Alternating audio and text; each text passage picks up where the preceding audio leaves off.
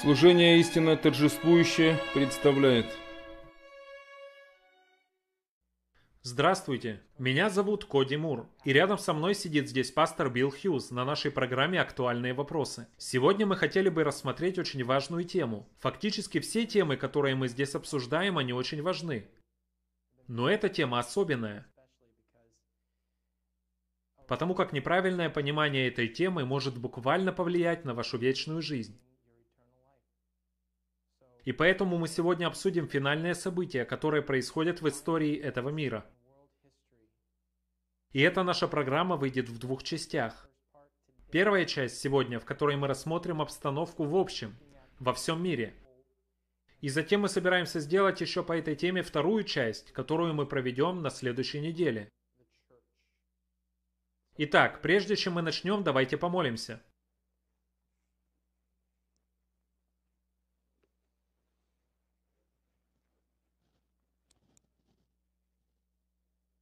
Отец Небесный, Господь, мы просим Тебя, прибудь с нами сейчас, во время этого обсуждения. Господь, в наши дни мы слышим столько много различных голосов в этом мире.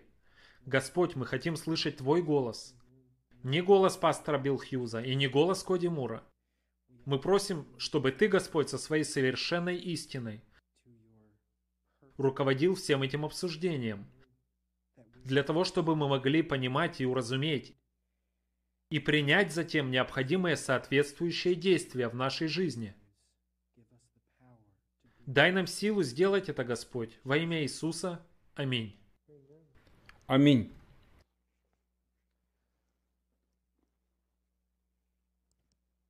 Итак, пастор Хьюз, как обстоят дела после уже нескольких месяцев с момента нашего последнего с вами обсуждения? И что за это время произошло нового? И что происходит в мире? Мне известно, что с какой точки зрения мы бы не рассматривали сегодня эти вопросы, но определенные новости есть и из Африки, и кое-что сегодня происходит и в церкви, и в мире. Происходят события, и мы следим за этими событиями в Ютубе. Потрясающие события, не так ли? Коди, без сомнения, это так и есть. Действительно, мир сейчас находится в свободном падении. Мы видим это на основании того, что происходит в YouTube. Я просто поражен от того, что я вижу на этом сайте. Я просто поражен, что 13-14 тысяч человек в течение месяца могут просматривать наши видео. Благодарение Богу. И всякий раз это число только увеличивается. Я имею в виду, что число подписчиков нашего канала постоянно возрастает. Если я не ошибаюсь, в прошлом месяце ты сказал, что у нас 265 э, новых подписчиков. Я настолько благодарен каналу YouTube, что мы можем прямо и твердо высказывать свое мнение в среде различных крайностей, которые существуют в наше время. И мне приятно то, что мы можем дать ясную и прямую весть, избегая при этом крайности. И ты сам в своей молитве сказал, что существует сейчас настолько много различных голосов. Есть такие, которые говорят, что Святой Дух не является личностью. Другие говорят, что Церковь является Вавилоном. Следующие говорят, что мы должны называть Бога каким-то особенным именем. Есть такие, которые считают, что мы должны соблюдать иудейские праздники. Другие говорят, что Иисус умер в среду. Ты знаешь, Коди, что все эти заблуждения продолжают увеличиваться. И недавно мы слышали, как некоторые начали устанавливать время, и это очень сильно распространяется сейчас в интернете. Это, Коди, происходило уже много раз за последние 35 лет. И поэтому, Коди, я благодарен Богу за эту прямую, ясную весть, которую мы можем дать людям этого мира, используя сайт YouTube. Я очень благодарен Богу за эту возможность. Мы также совершаем массовую рассылку в интернете и получаем хорошие отзывы об этой нашей работе. Более пять тысяч человек сейчас участвуют в программе по изучению Библии. О той работе, которая происходит в Африке, это просто поразительные истории, которыми мы собираемся поделиться сегодня. Например, у человека по имени Абдул Мухаммед, он египтянин. Его семья приняла трехангельскую весть. И они все были убиты за это.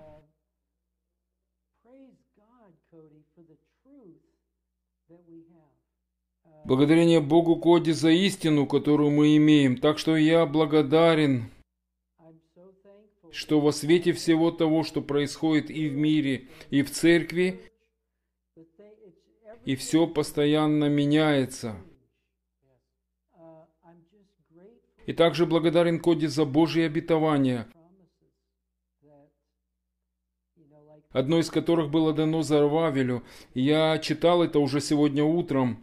Это записано у пророка Захарии в 4 главе. Там говорится, «Не воинством и не силою, но духом моим, говорит Господь Савов». То-то великая гора перед Зарававелем. Ты равнина, и вынесет он краеугольный камень при шумных восклицаниях. Благодать, благодать на нем. Я настолько благодарен Коде за Божье обетование, которое не спровергает любую гору и которое превращает в тишину любой голос, потому что Слово Божье неизменно исполняется. Я благодарен Богу за это. В мире с постоянно изменяющейся политикой, с изменяющимися доктринами и так называемым новым светом, мы постоянно можем обращаться к Богу, который не изменяется, и найти Его прямое свидетельство. Аминь. И это не какое-то новое странное понимание, но это прямое свидетельство, которое базируется на основании путевых столбов истины, которые были положены еще в начале времен. Вот какому Богу мы служим. И поэтому мы можем вернуться назад к Библии и к трудам духопророчества. Когда мы чувствуем, что нам недостает проницательности, тогда мы можем вернуться к пророческому слову и на надежное основание, на котором мы можем стоять. Мы не должны уходить с этого основания, иначе мы попадем в волны различных человеческих учений. Учений всякого человека, у которого есть видеокамера. Аминь, Коди. И тот, который может снимать видео. Благодарение Богу за это. Это просто прекрасно. Хорошо, Билл, давай начнем с первого вопроса. Да, приступим. Почему вы думаете, Билл, что мы находимся очень близко к вечности? Коди, на этот вопрос мы можем ответить словами, которые записаны во втором послании Петра, в первой главе, стих 19. Петр говорит, «И притом мы имеем вернейшее пророческое слово, и вы хорошо делаете, что обращаетесь к нему как к светильнику, сияющему в темном месте, доколе не начнет расцветать день и не взойдет утренняя звезда в сердцах ваших. Книга Откровения, Коди и книга Великая борьба показывают нам на ориентиры и на указательные столбы на протяжении всего нашего пути. И, разумеется, одним из основных таких указательных столпов в коде это предельно ясно изложено, что этим столпом является определенное событие в истории Америки и в истории всего мира, после чего должно произойти ограничение свободы совести. И в Америке это может включать в себя и поправку к Конституции, и изменение неотъемлемых прав граждан. Эти права сегодня постоянно подвергаются нападкам. Полагаю, что больше всего нападки происходят на вторую поправку, которая гарантирует нам, гражданам Америки, приобретение оружия. Коди, начиная с президентства Рейгена, когда была совершена попытка покушения на жизнь президента Рейгена, человеком по имени Джон Хинкли-младший в 1981 году, и реакцией на это покушение был протест и требование прекратить продажу оружия или же серьезно ограничить эту свободу, которая нам была гарантирована. Коди такие попытки ограничить эту свободу продолжаются уже на протяжении последних 40 лет. И для меня эта вторая поправка является знаковой, которая как бы оберегает все остальные свободы, которые у нас есть. Эта вторая поправка подверглась нападению в таких местах, как школа в Портленде, Южной Флориде, городе Форт Лодерлдейл, Джорджия, Калифорния, Колорадо. Я имею в виду, что все это не прекращается. Во всех этих местах люди безответственно использовали оружие. И после этого сразу же слышалось требование «давайте прекратим обращение оружия». Коди, нам известно из библейских пророчеств, что будут предприняты атаки на эти поправки Конституции. И самым большим атакам подвергнется первая поправка Конституции, которая гарантирует религиозную свободу. Итак, для меня это путевые указатели, с помощью которых я могу видеть, как происходит попытка убрать гражданскую и религиозную свободу. И этот процесс происходит. Эти попытки убрать свободы показывают мне,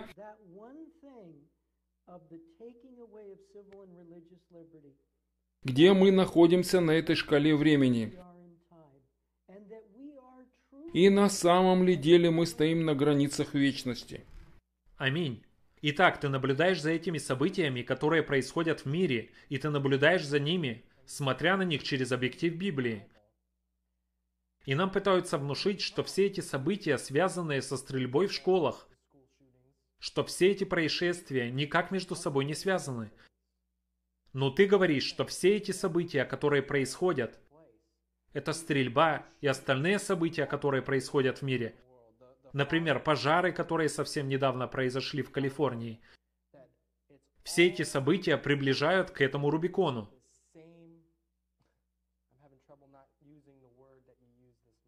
И с одной стороны, есть Бог, который позволяет происходить всем этим природным катастрофам. Для того, чтобы пробудить людей и обратить их внимание на всю серьезность и торжественность времени, в которое мы живем. И с другой стороны, это сатана и его злые силы, которые работают сейчас. Все-таки насколько ужасно то время, в которое мы сейчас живем когда взрослые люди беспокоятся о том, чтобы не быть убитыми собственными детьми. И все это работает для достижения одной и той же цели, чтобы убрать ту защиту, которая предоставляет нам Конституцию. И биль о правах. И конкретно вторая поправка Конституции. И мы можем прочитать целый список имен. Это и Томас Джефферсон, и Джон Адамс, и Джордж Вашингтон. Что все они думали об этой поправке? И теперь все эти силы работают для того, чтобы забрать у нас религиозную свободу. Свободу выражать свое мнение. И по сути можно употребить терминологию, которую поймут большинство из протестантов. Это устранение свободы совести. Это в действительности та цель, которую эти силы пытаются достичь. Да, безусловно. Знаешь, Коди, ты высказал очень интересную мысль. С одной стороны, мы видим попытки устранения Конституции, а с другой стороны, мы видим, как происходят природные катастрофы. В книге «Великая борьба» на страницах 589 и 590 предельно ясно сказано, что Бог позволяет дьяволу действовать через силы природы – Эллен Уайт говорит, что быстро сменяя друг друга, будут происходить ураганы, торнадо, голод и землетрясения. И затем в этом контексте всех этих природных катастроф Эллен Уайт пишет, и затем великий обманщик будет внушать и говорить этому миру, что все это происходит из-за тех, которые отказываются почтить и соблюдать воскресный день. Итак, в книге «Великая борьба» соединяются вместе природные катастрофы и закон о воскресном дне. И поэтому, когда мы видим все эти природные бедствия, это все происходит для того, чтобы приготовить разум людей, как в Америке, так и во всем мире, и также все эти стрельбы в общественных местах. Все это для того, чтобы приготовить разум людей, живущих на всей нашей планете, чтобы они приготовились распрощаться со всеми своими свободами. Все это идет подготовка к одному событию. Итак, все это части одного зловещего плана по разрушению. Это просто удивительно. Вся борьба происходит вокруг одной заповеди, одного принципа, который говорит «помни день субботний». И фактически дьявол отчаянно пытается уничтожить только одну эту заповедь. Да, это просто поразительно, то, что ты сейчас сказал. Существуют ли какие-либо свидетельства Библии о том, что мы близки к завершению земной истории? Знаешь, Коди, Или же в трудах духопророчества? две главы, которые нам говорят об этом,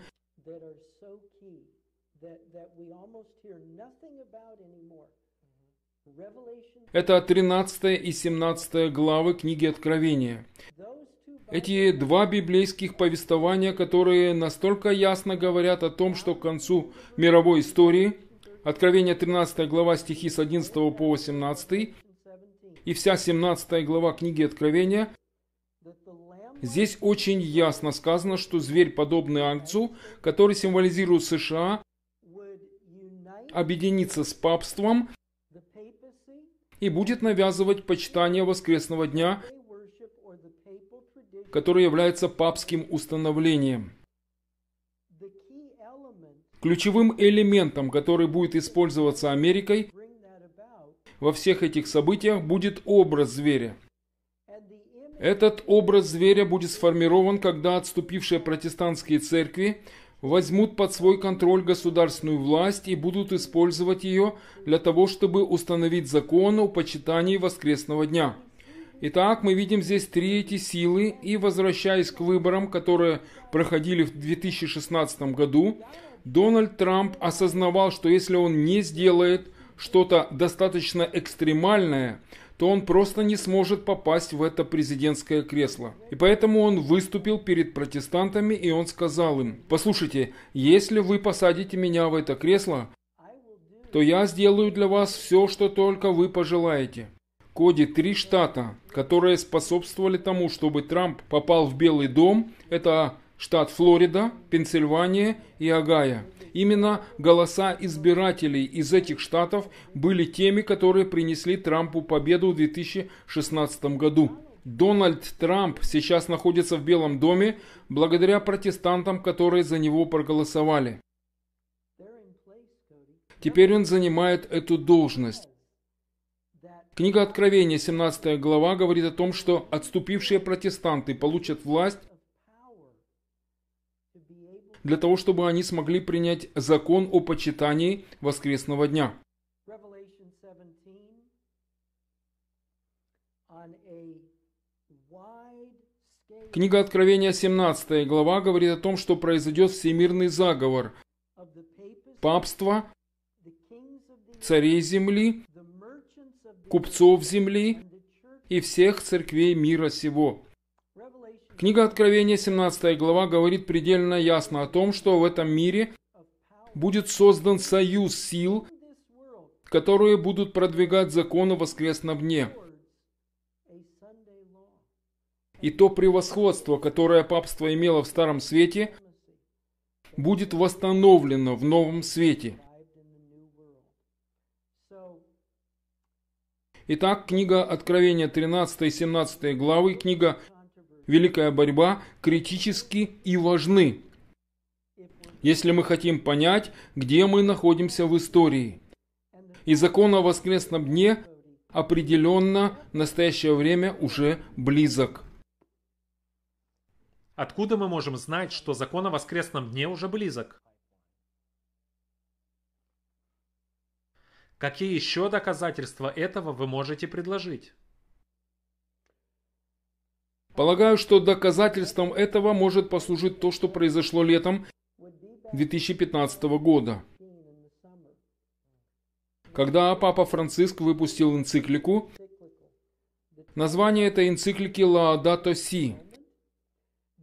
И в этой энциклике летом 2015 года Папа Франциск 2015, Pope Francis spoke обсудил вопросы о сохранении окружающей среды. И в этой энциклике он говорит, что для того, чтобы сохранить окружающую среду, нам необходимо почитать воскресный день.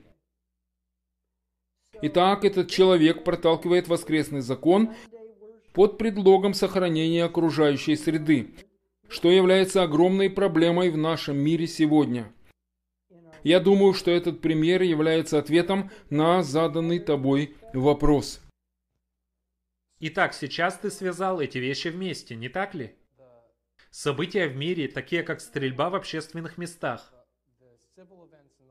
высокий уровень преступности, тяжкие преступления, которые происходят в нашей стране все чаще и чаще, движения, которые пытаются уничтожить наши права, потому как эти права являются фактически нашими привилегиями. У нас не будет этих прав, если мы сами не будем их соблюдать. И поэтому они подталкивают людей к тому, чтобы они разорвали эту связь, доверие по отношению к этим правам. И это все ведет к тому, что они будут иметь власть контролировать и в конечном итоге убрать эти права.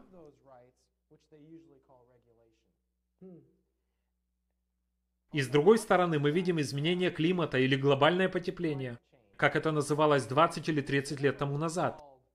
Это понятие много раз уже изменило название. Мы слышим, как мировые лидеры говорят о том, что мы уничтожаем и разрушаем Землю. И кто предлагает решение этой проблемы? Человек, который якобы несет мир, Папа Франциск.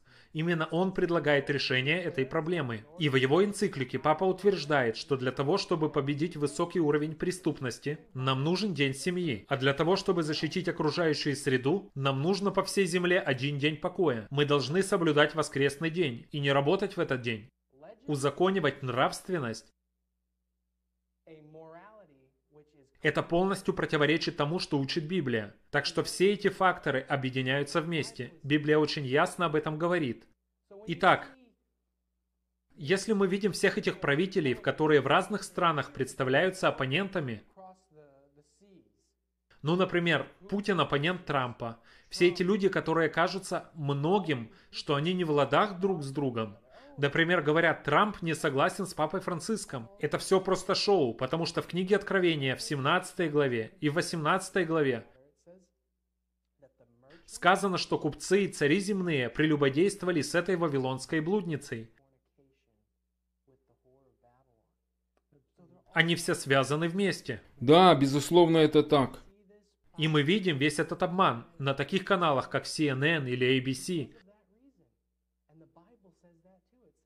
Это происходит именно по всем этим причинам.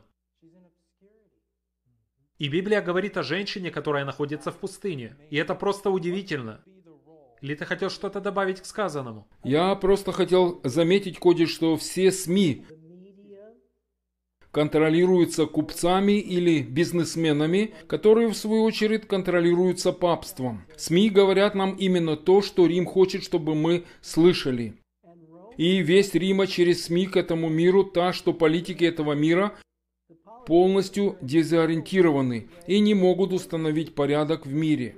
В политическом мире присутствует полная путаница. Это та весть, которую они пытаются внушить этому миру. Но фактически, если мы будем основываться на истинном пророческом слове, о чем сказано в первом послании Петра в первой главе, это слово говорит, что они все объединены вместе. Они сделали всю эту путаницу с той целью, чтобы мы запутались так, чтобы мы смотрели на весь этот хаос, а когда наступит нужное время для них, чтобы было принято нужное им решение, чтобы мы в это время были бы настолько запутаны, и чтобы мы смотрели на весь этот хаос, и тогда они выйдут вперед и скажут, вот то решение, которое нам всем нужно.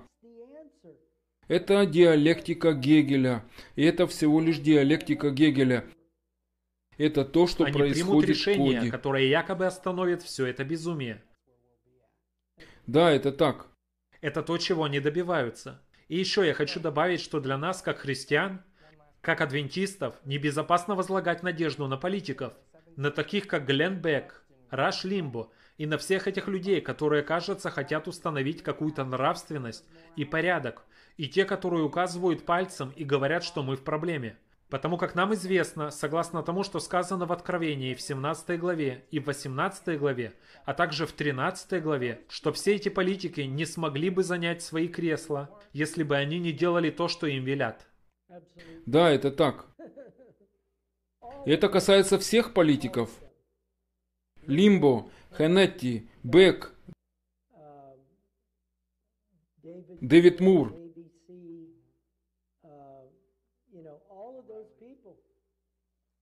Все эти люди контролируются купцами земными.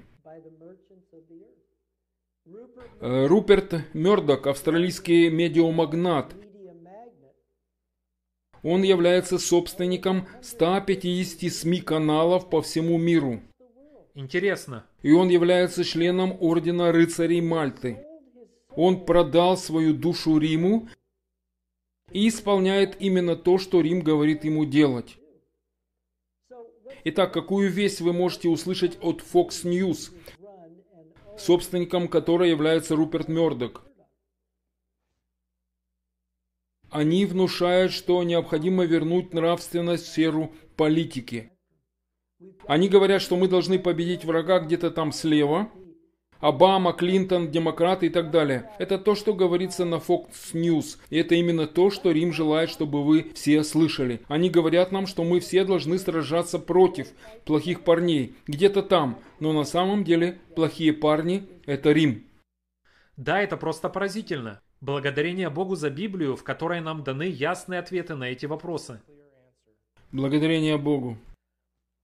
Какова будет роль католицизма в заключительных событиях истории? И какова роль протестантизма? Я хочу сейчас прочитать несколько утверждений, Коди. Я думаю, что Элен Уайт прекрасно отвечает на все эти вопросы. Um,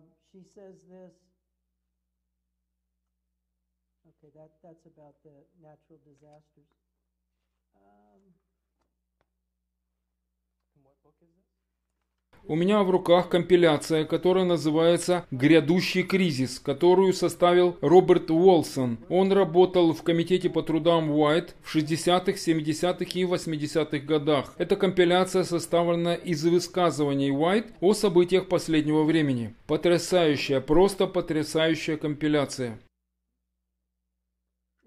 Здесь сказано следующее. Когда ведущие церкви Соединенных Штатов объединенные вокруг тех доктрин, которые все они разделяют, начнут оказывать влияние на государство с целью внедрения своих установлений и поддержки своих организаций, тогда можно будет сказать, что в протестантской Америке сформировался образ или подобие римской иерархии, неизбежным следствием чего станет применение гражданских мер наказания в отношении инакомыслящих. Конец цитаты. Это цитата из книги «Великая борьба», страница 445. Мы видим, как ведущие церкви Америки в наши дни объединяются в экуменическом единстве. Это то, что происходит уже в течение 60 лет, начиная со Второго Ватиканского собора. Это было как прорыв плотины. Начиная со Второго Ватиканского собора с 1962 года и до, и до 1965 года, и затем было собрание в Лима, Перу, в 1982 году, когда был подписан этот BMN документ. И сейчас мы уже видим одно экуменическое собрание, которое проходит за другим другим. И там присутствуют и католики, и православные, и мусульмане, и адвентисты седьмого дня. Все эти церкви Коди объединяются вместе в экуменической гармонии. Вот еще одна цитата из книги «Великая борьба» со страницы 444. Многие считают, что широкое разнообразие доктрин в протестантских церквах является решающим доказательством того, что невозможно насильственным путем добиться единообразия в учении. Но в течение целого ряда лет в протестантских церквах существует сильное и всевозрастающее стремление к единству, вероучения на основе общих доктринальных положений. Для обеспечения такого единства церквам придется отказаться от обсуждения тех вопросов, в отношении которых нет единства мнений, какими бы важными они не были с библейской точки зрения. Именно это и происходило в Лима-Перу в 1982 году. Там обсуждались вопросы крещения, Евхаристии, служения. Они сказали, мы объединимся вокруг этих вопросов. Но все остальные вопросы, которые являются критическими, мы их просто отложим в сторону. Итак, отступивший протестантизм, римский католицизм и отступивший адвентизм все эти церкви собираются вместе, отложив в сторону те вопросы, по которым у них нет согласия, и они объединились по темам, в которых у них есть полное согласие. А те вопросы, по которым они не согласны, они отложили в сторону. Они положили, образно говоря, все эти вопросы под ковер и больше не обговаривают все эти вопросы. Вот еще одно утверждение, на этот раз из Review and Herald от 1 июня 1886 года. Здесь говорится, однако это объединение не затронет и не изменит католицизм.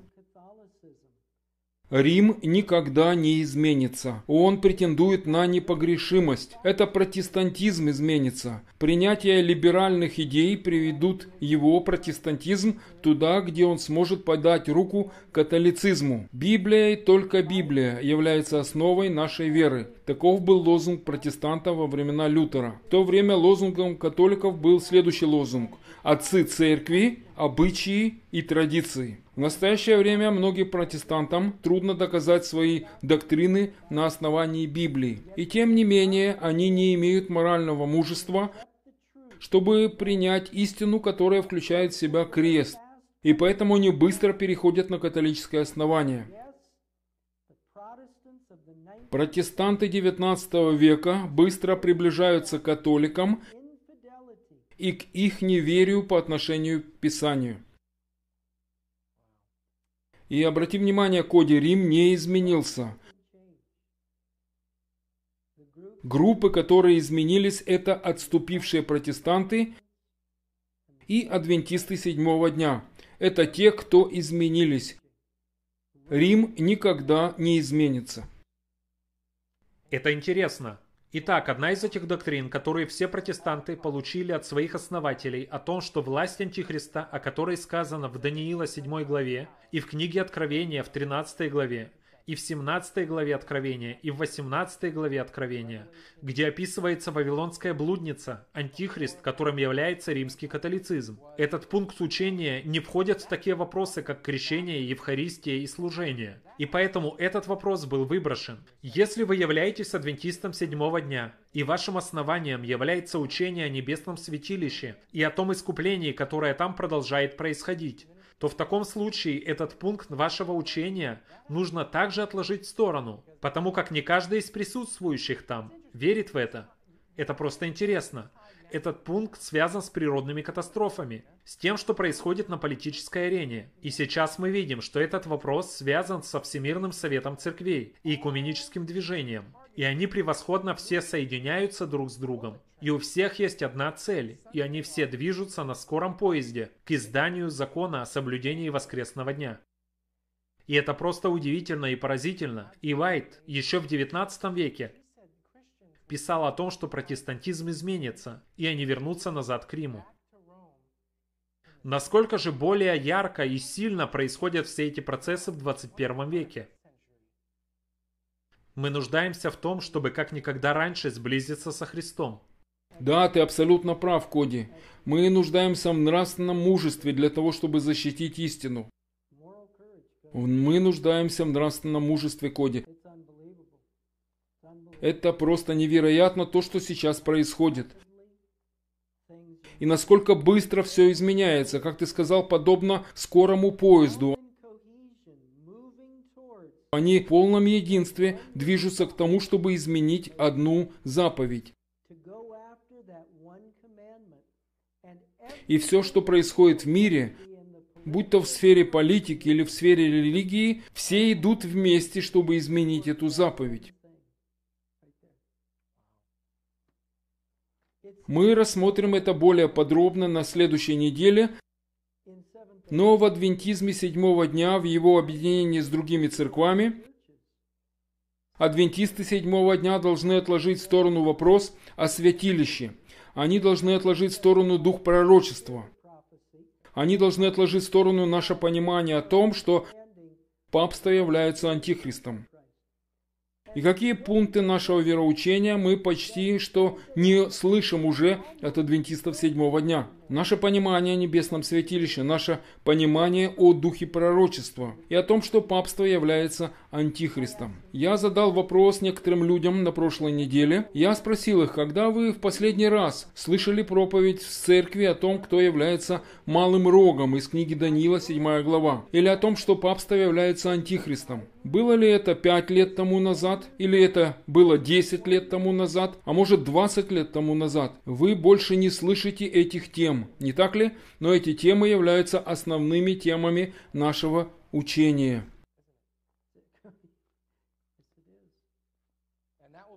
Мы на следующей неделе будем говорить более подробно по этим вопросам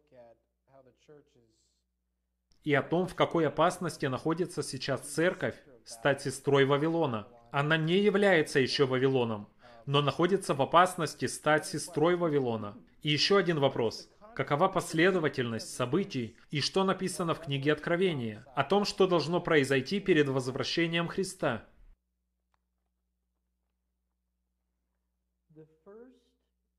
Первое монументальное событие, коде о котором говорят библейские пророчества и которое прямо перед нами, это национальный воскресный закон. Это самое главное событие, И все, что мы до сих пор упоминали, приближает нас к этому единственному событию.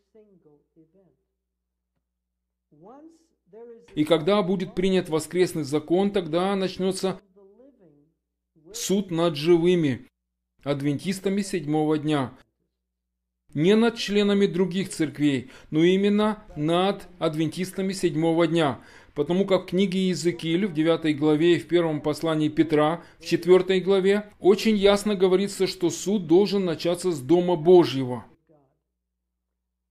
Итак, во время установления национального воскресного закона адвентисты седьмого дня предстанут перед судом, именно с них начнется суд. Те из адвентистов седьмого дня, которые будут найдены верными, они будут запечатлены и они будут участвовать в провозглашении громкого клича, о котором сказано в книге Откровения 18 главе. Но те адвентисты седьмого дня, которые будут найдены неверными, они получат начертание зверя и станут наиболее яростными противниками Божьего народа и Божьей истины. В течение того времени, когда будет провозглашаться громкий клич, описанный в 18 главе книги Откровения, это будет время, которое названо временем малой скорби – если мы уже сейчас говорим, что государства в мире уже сейчас находятся в состоянии хаоса, то тогда, когда будет малая скорбь, все будет гораздо хуже. Потому как, позвольте я прочту одно утверждение, которое взято из Review and Herald от 18 ноября 1888 года. Наступает время, когда закон Божий в особом смысле станет недействительным в нашей стране. Правители нашего народа законодательными актами обеспечат соблюдение воскресного закона, и это приведет к тому, что народ Божий окажется в большой опасности.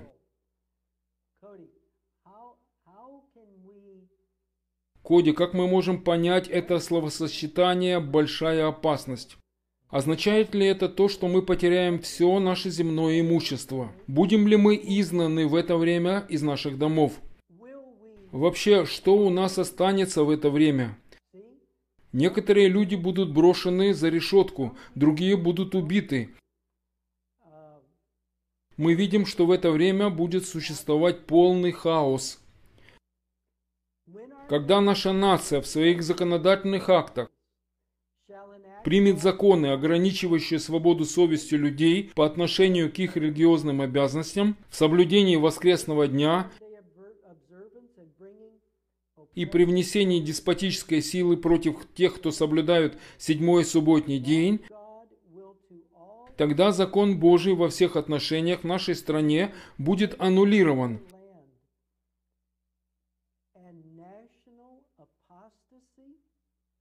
И национальное отступление приведет к национальной гибели. Как ты можешь объяснить эти слова «национальная гибель»? Транспорт больше не будет доставлять товары в магазин. Там будут пустые полки, и у людей будет нечего есть. И когда у людей нечего есть, будут ли они проникать в дома других людей и воровать у них? Люди будут убивать друг друга для того, чтобы хоть как-то прокормить свои семьи.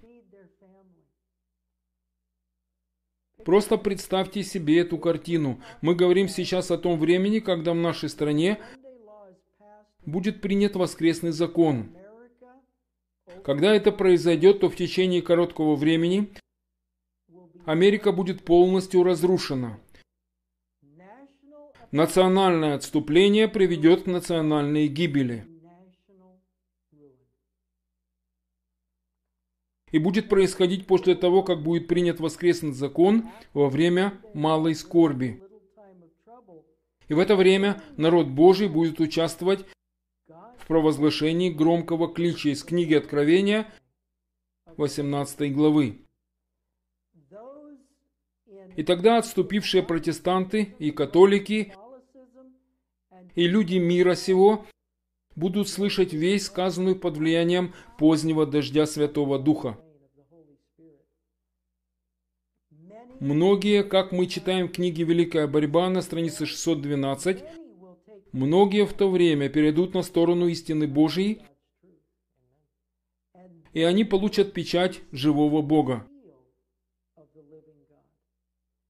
Те, которые противостанут и отвергнут эту весть, принесенную поздним дождем, они тогда объединятся со вступившими адвентистами седьмого дня и примут начертание зверя.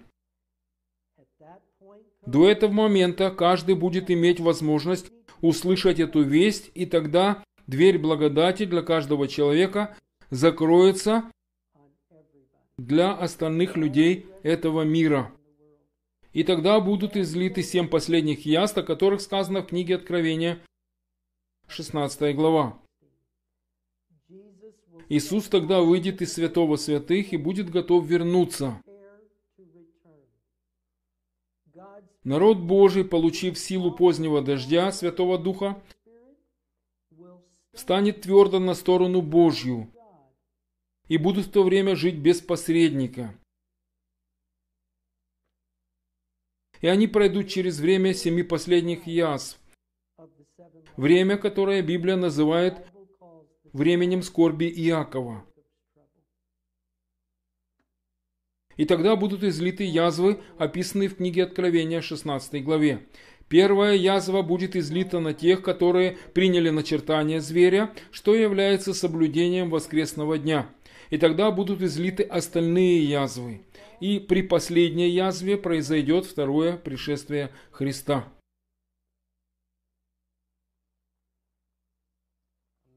Да, это впечатляет. Есть еще один аспект, о котором нужно сказать.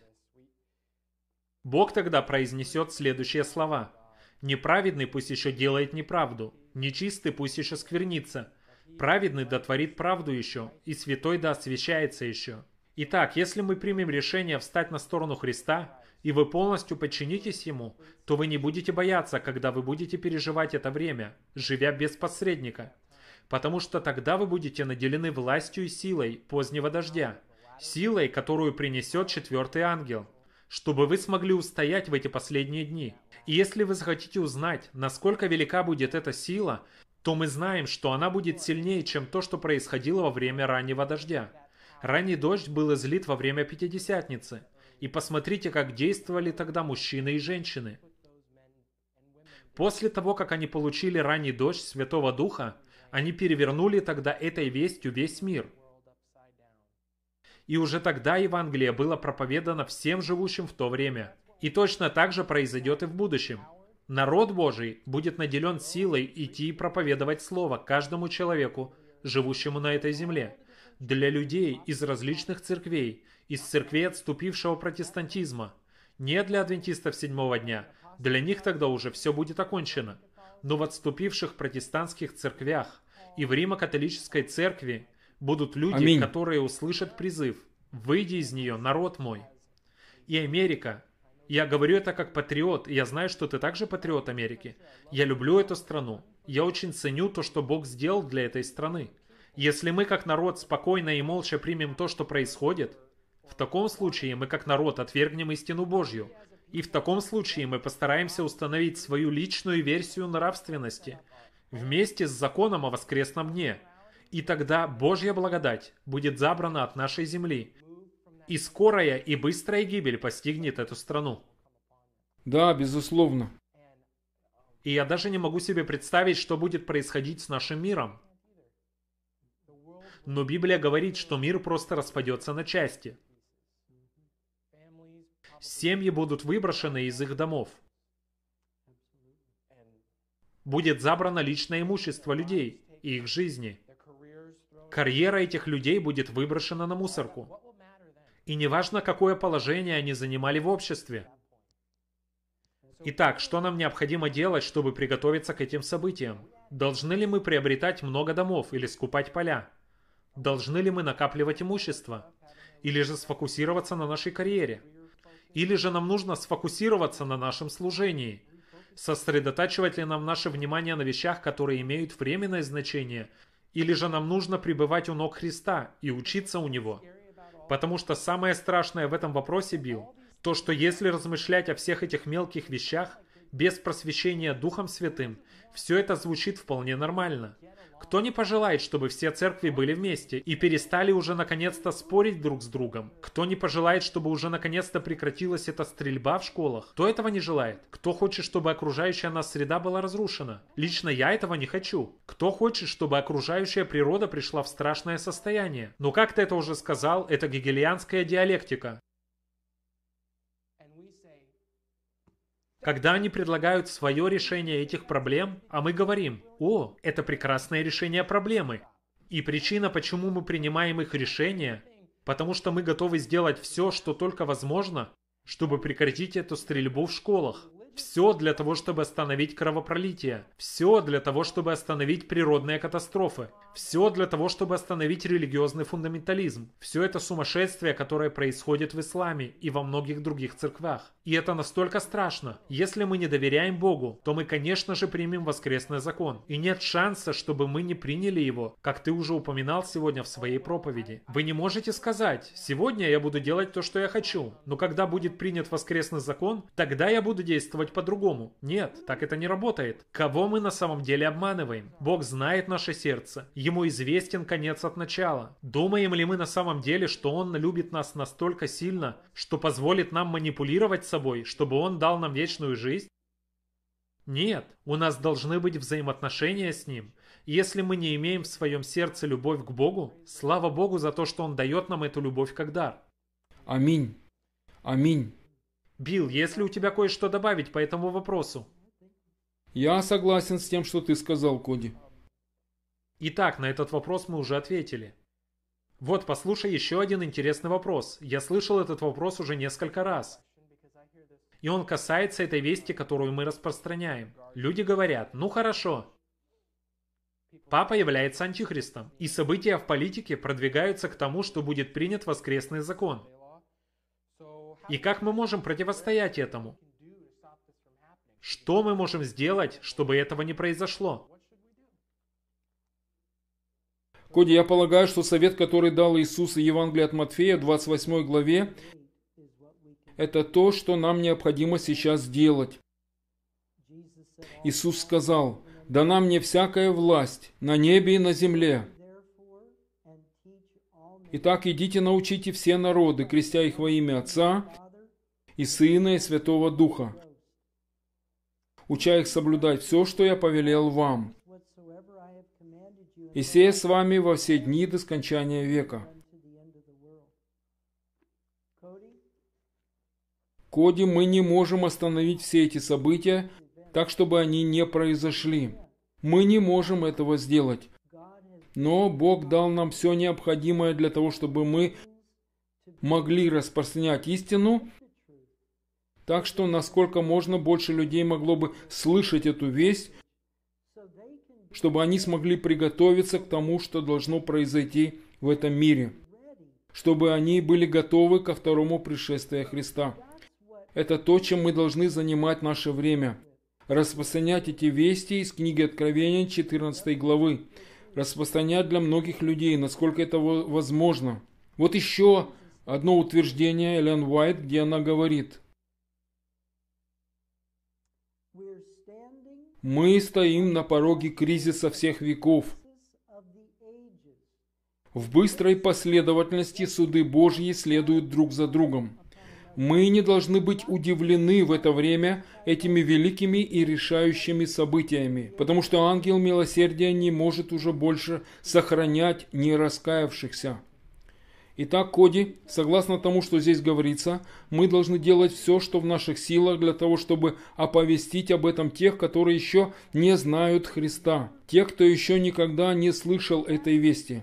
Это то, что нам нужно делать. Это самое лучшее, то, что мы можем сделать для всех жителей нашего мира.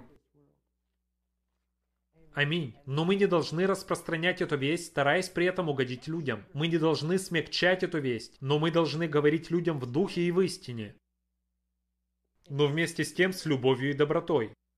О том торжественном времени, в которое мы сейчас живем. Я помню, как ты сказал в одной проповеди, как некоторые люди ушли, потому что им открылась неприятная для них истина но благодарение Богу. Если я что-то делаю, и это может стоить мне жизни вечной, я бы хотел, чтобы ты мне указал на это. В этом и проявляется истинная любовь. Истинная любовь заключается в том, чтобы любить настолько своего ближнего, чтобы не заботиться о том, что о тебе подумают люди, после того, что ты скажешь то, что должен сказать. Аминь, Коди. Итак, что нам нужно делать? Мы не должны бороться с этим, организовывая какие-то политические партии и искать какого-то влияния в Конгрессе. Мы можем бороться с этим только тем, что будем распространять вернейшее пророческое слово, распространяя весть надежды и истины, искупления от греха, и о том, что Папа является антихристом, о начертании зверя, о грядущем суде, о следственном суде, весть о небесном святилище, о состоянии умерших, все эти темы. И все эти вести должны достичь самого сердца и быть в центре всего нашего существования. Аминь. Я согласен с этим, Коди. Это безусловно так. Коди, вот еще одно утверждение из ревью Ингеральд 21 марта 1878 года. Вскоре накопленное богатство не будет иметь никакой ценности. Когда выйдет указ, никто не сможет ни покупать, ни продавать, кроме имеющих начертания зверя, и потому большие сбережения окажутся бесполезными. Бог обращается к нам теперь сделать все возможное, чтобы предостеречь этот мир. Здесь очень ясно все сказано. Аминь. Да, потому что в этот день, когда Новый Иерусалим сойдет с небес, и ворота будут закрыты, и все грешники окажутся снаружи. Я не хочу смотреть ни в одно лицо тех людей, с которыми я сейчас знаком, если я не сказал им истину. Аминь, Коди. Коди, вот еще одна цитата из свидетельств для церкви, пятый том, страница 152. Заметьте то, о чем здесь говорит Элен Вайт, о чем Господь здесь говорит. Скоро настанет время, когда мы не сможем ничего продавать ни за какую цену. Вскоре выйдет указ, запрещающий людям продавать тем, кто не имеет начертания зверя, так и покупать у них. Четыре ангела по-прежнему удерживают четыре ветра. Потому что мы еще не готовы. Нам предстоит проделать важную работу, и лишь после этого ангелам будет дано повеление отпустить четыре ветра, чтобы они обрушились на землю. Для детей Божьих вскоре настанет решающее время, время скорби, какого еще не бывало с тех пор, как люди живут на земле. Сейчас у нас есть возможность трудиться. Аминь. Это то, что мы можем сейчас сделать, и то, что мы обязаны сейчас сделать. Есть еще одно утверждение из пятого тома «Свидетельств для церкви».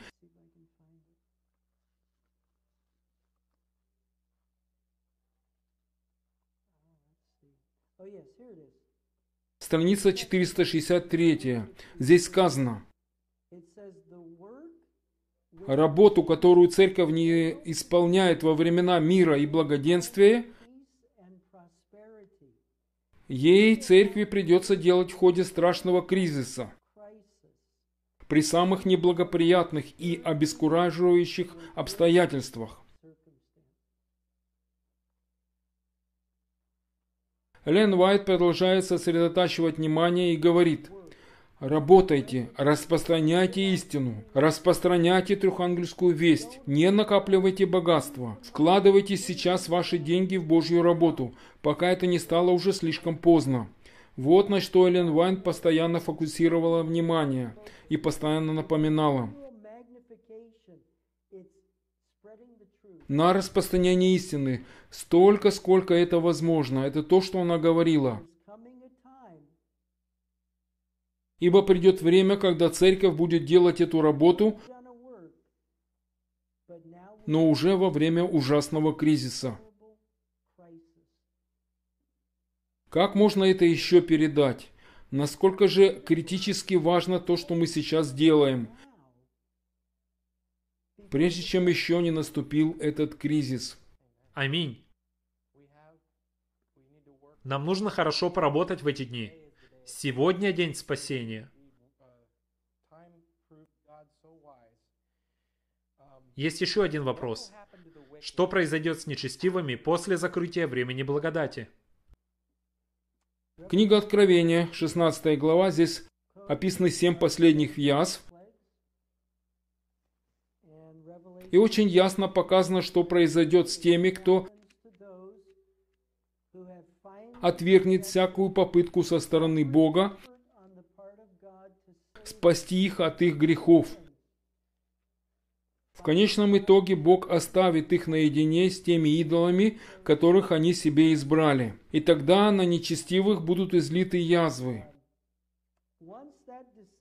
Решение, которое они приняли однажды, давайте откроем 20 главу Откровения, стих 2. Мы еще вернемся к 16 главе книги Откровения, 12 says, и также к 22 глава книги Откровения, стихи 11 и 12. Там сказано, «Неправедный пусть еще делает неправду, нечистый пусть еще сквернится. Праведный да творит правду еще, и святой да освящается еще». Наступит такое время, в первую очередь для адвентистов седьмого дня, а затем и для мира, время испытания для мира окончится. Тогда характеры всех людей будут подготовлены или же не подготовлены к вечности. И все, второго шанса уже не будет, и другой возможности больше никогда не будет. Как это было во времена Ноя, когда он строил ковчег, когда Ной с его семьей вошел в этот ковчег, и дверь затворилась, в тот момент дверь благодати закрылась, и люди, которые были вне этого ковчега, не могли уже войти в ковчег. Благодать для них закончилась. И то же самое произойдет в будущем. Эти события прямо перед нами в будущем. And Revelation 6, В книге Откровения в 16 главе очень ясно говорится о том наказании и о том необычном деле для Бога, которое будет сделано, и наказание будет излито на всех непокорившихся Богу, на всех обитателей нашей планеты. Первая язва будет излита на тех, кто получил начертание зверя и последовал за отступившим протестантизмом, на тех, кто поклонялись образу зверя. Вторая язва будет вылита на море, Третья на реки, источники вод. Четвертая язва будет вылита на престол зверя. То есть здесь представлена папская власть.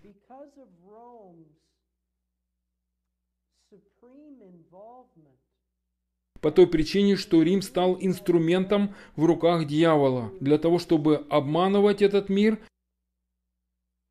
Их страдания будут просто ужасными от этих семи язв. Но все эти язвы будут плодом жизни в отступлении и в восстании.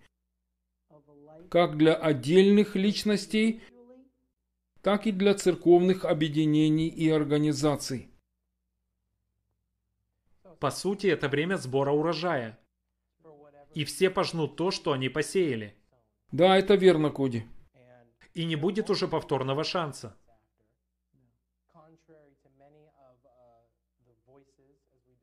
Как мы уже говорили, есть много людей, которые утверждают, что будет еще три с половиной года. Но нет, так это не работает. Именно сегодня день спасения. Сегодня мы должны прийти ко Христу, поверить в Него и довериться Ему, и просить Его вменить нам Его праведность, и надеть наши доспехи, и начать совершать работу – в Библии есть очень хорошая метафора. Я только недавно читал во втором послании фессалоникийцам. Кто не желает работать, тот пусть и не ест. Мы не сможем получать хлеб жизни и получать духовное питание Святого Духа, в котором мы нуждаемся, если мы не работаем. Это наша работа – распространять трехангельскую весть. Нам нужно пробудить людей, потому как время очень коротко. Аминь. И еще одно.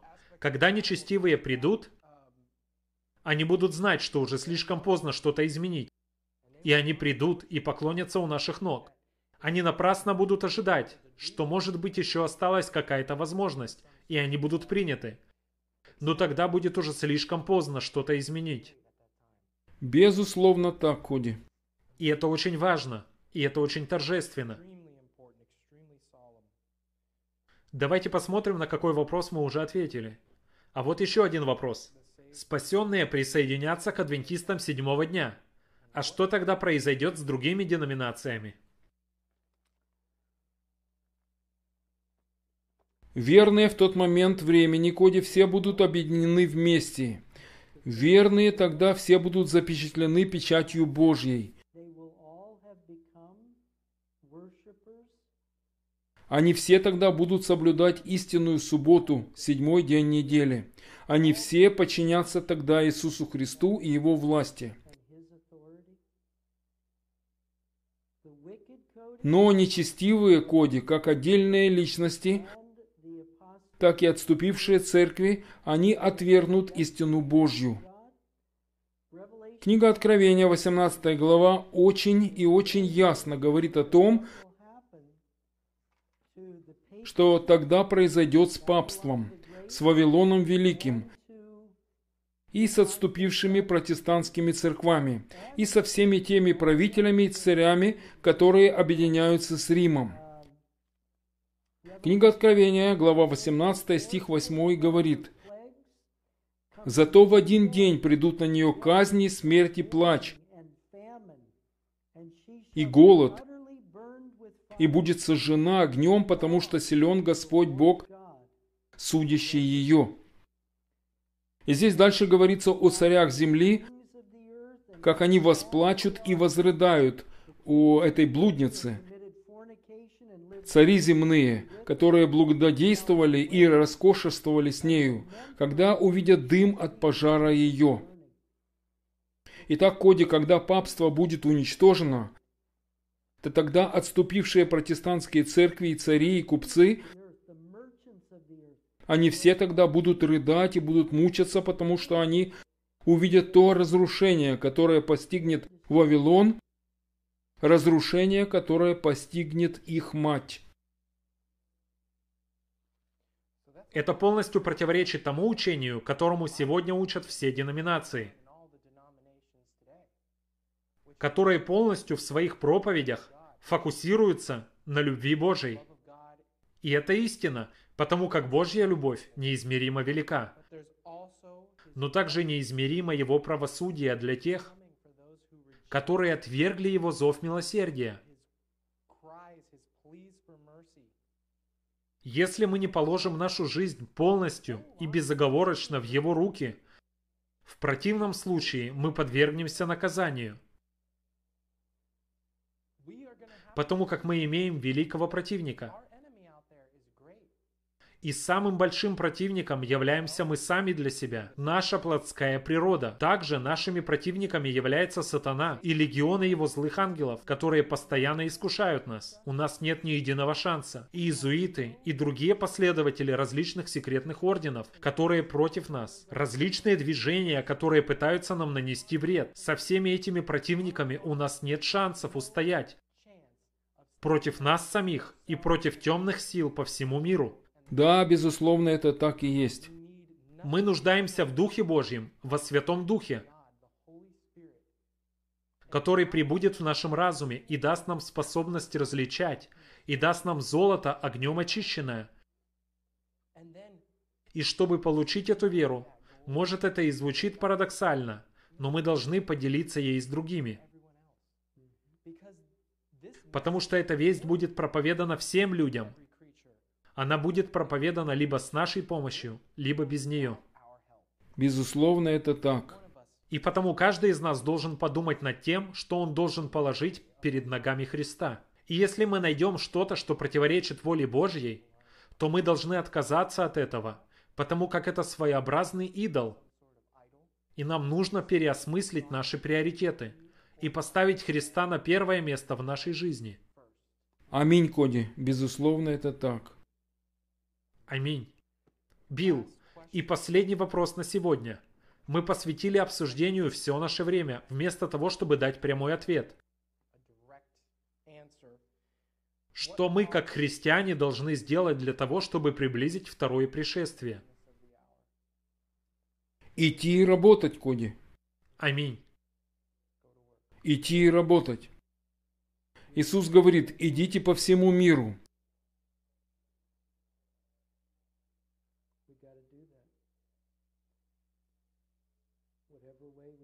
Мы должны исполнять это любыми доступными способами. Либо с помощью YouTube, либо с помощью рассылки, либо делиться с нашими соседями. Может быть, разносить книги по различным адресам, оставляя книги у дверей домов.